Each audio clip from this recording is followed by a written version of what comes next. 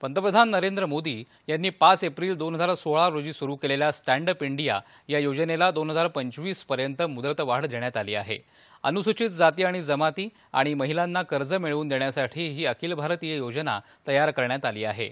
आत्तापर्यंत या योजनेअंतर्गत एक लाख सोळा हजार दोनशे सहासष्ट जणांना तब्बल सव्वीस हजार दोनशे चार कोटी एकोणपन्नास लाख रुपये एवढ्या कर्जाचं वाटप करण्यात आलं आहे.